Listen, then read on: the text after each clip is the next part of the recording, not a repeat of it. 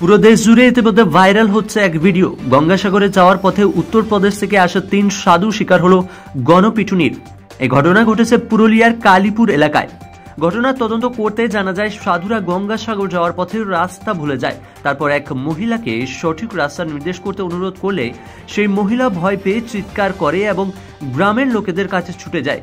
গ্রামের লোকেরা তাদেরকে কিছু না বুঝেই দল পাকিয়ে ছুটে গিয়ে সাধুদের মারধর করতে শুরু করে। তারা সাধুদের অপহরণকারী ভেবে মারধর করতে শুরু করেছিল বলে জানা গিয়েছে। ঘটনার খবর পাওয়া মাত্রই পুলিশ ঘটনাস্থলে পৌঁছে মানুষের হাত থেকে তাদের বাঁচিয়ে নিকটস্থ থানায় নিয়ে যায়। ঘটনার পর পুলিশ এখনও অবধি বারো জনকে গ্রেফতার করেছে। পুরুলিয়ার police super ACP Abhijit Bandyopadhyay জানিয়েছেন, কিছু ভাষাজনিত কারণে এমনটা ঘটেছে। মেয়েরা ভেবেছিল যে সাধুরা তাদের ফলো করছেন। সাধুর এই মারধরের ভিডিও সোশ্যাল মিডিয়াতে পোস্ট হতেই তা ছড়িয়ে পড়ল রকেট গতিতে।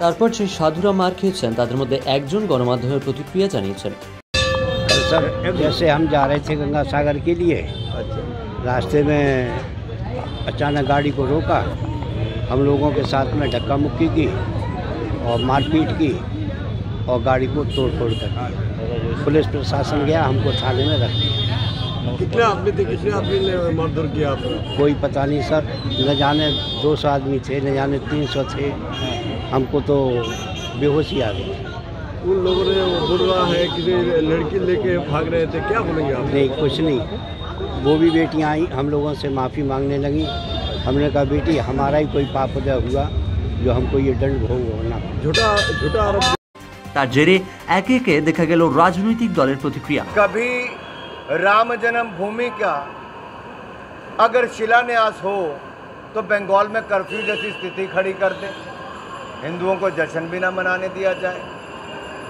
और अब हिंदू साधुओं को मारने पीटने की उनकी हत्या तक करने का भी प्रयास किया गया এদিকে BJP IT cell incharge Amit Malviya তার এক্স হ্যান্ডেলে তার প্রতিক্রিয়া জানাতে গিয়ে এই ঘটনাটিকে পালঘর সাধু হত্যার ঘটনার সাথে তুলনা করেছেন তারপর বিজেপির তরফ থেকে শেহজাদ পুনাওয়ালারও প্রতিক্রিয়া পাওয়া গিয়েছে पश्चिम बंगाल के पुरुलिया में पालघर पार्ट टू का नजारा देखने मिला जिस प्रकार से साधु संतों को पीटा गया टीएमसी के गुंडों के द्वारा मारा गया गंगा सागर से वो जब जा रहे थे क्या पालघर पार्ट वन जिस प्रकार से हुआ था उद्धव ठाकरे जी के राज में आज ममता दीदी के राज में पालघर टू इसलिए हो रहा है क्योंकि वहां पर राजनीतिक हिंसा इस चरम पर आ चुकी है इस लेवल पर आ चुकी है कि वहां पर कोई भी सुरक्षित नहीं है এদিকে আবার তৃণমূল কংগ্রেসের রাজ্যমন্ত্রী শশী পাজা বিজেপিকে তোপ দাগলেন बीजेपी अपने पुराने आदतों से बाज नहीं आएगी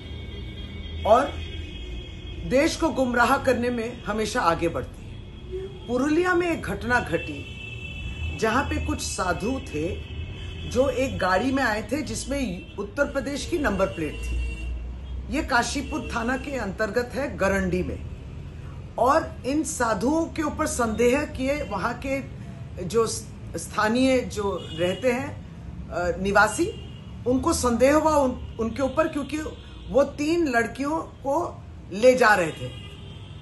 उस गाँव के लड़कियों को ले जा रहे थे। इस संदेह पे वहाँ के गाँव के लोगों ने उनकी पिटाई की।